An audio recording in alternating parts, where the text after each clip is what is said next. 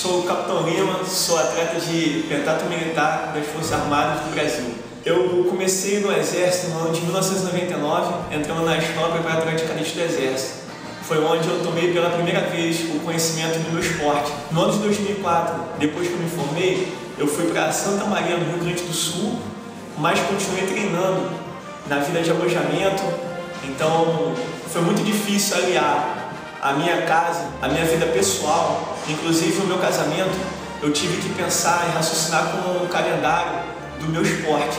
Isso eu fiz voluntário e sempre de bom coração, mas nunca esquecendo que principalmente eu sou um oficial do Exército Brasileiro. Então, a dedicação total vai ser sempre ao Exército. E por isso que eu me dedico ao pentatlo militar. Já várias vezes competimos e treinamos no exterior, então, sempre foi de alojamento, dificuldade de adaptação à alimentação. É muito difícil de chegar até aqui e sabendo que não, sem apoio é impossível estar aqui onde estou agora. Mas isso tudo vale a pena quando a gente tem a compreensão da família e dos companheiros da farda, que isso é o mais importante, que é o que a gente espera.